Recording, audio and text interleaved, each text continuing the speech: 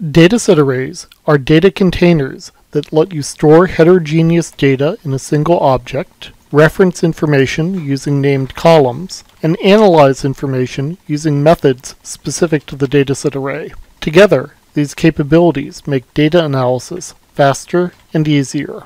Traditionally, MATLAB provided two different types of data containers. Arrays of numbers are the most basic MATLAB data type. MATLAB provides a wide variety of functions that operate on numeric arrays. Numeric arrays are also very efficient in memory. Unfortunately, numeric arrays are limited in the type of information that they hold.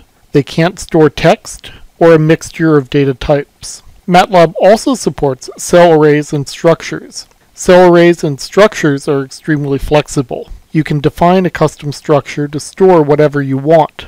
However, the flexibility of a custom structure or cell array is also a limitation. MATLAB functions can't always parse a custom structure. Dataset arrays provide the best of both worlds. Dataset arrays can store mixed data types, a large number of MATLAB functions work with dataset arrays, and dataset arrays are memory efficient and fast.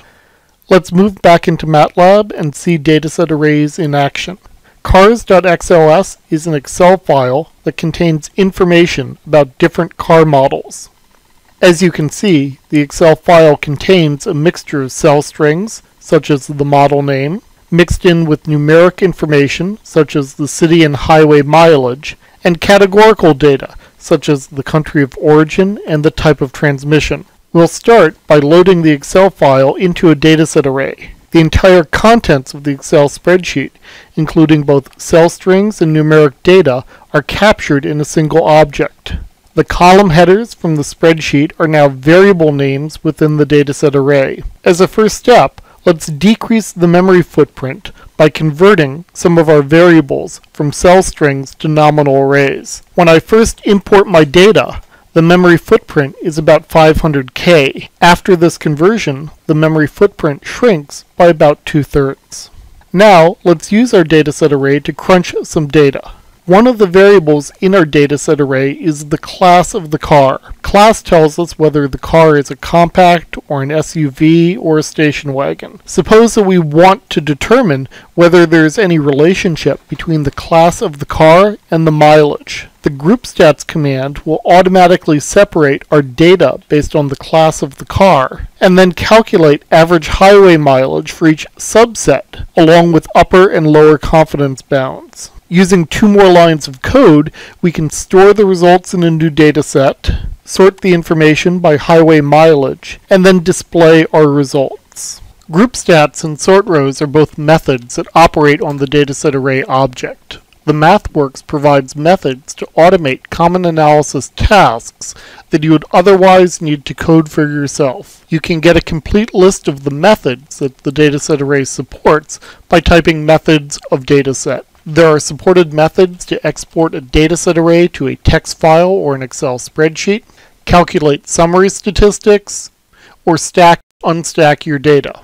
Join and dataset fun are two methods that you definitely want to be aware of. The dataset array join method is a way to combine variables from two different dataset arrays using values that are shared across both arrays. The join method simplifies a number of complicated data analysis tasks. Joins are particularly useful to solve multi-rate sampling problems. I'm going to start by using a join to merge two dataset arrays. The join operator will automatically search through both dataset arrays and identify a variable that is shared across both datasets. In this example, time is the shared variable. Next, the two dataset arrays are automatically merged into one using time as the key. Finally, interpolation is used to replace missing data. Dataset fun allows you to apply a MATLAB function to a variable that is stored in a dataset array. For example, the z-score function in Statistics Toolbox is used to center and scale a data series. The MathWorks didn't write a specialized z-score method for the dataset array.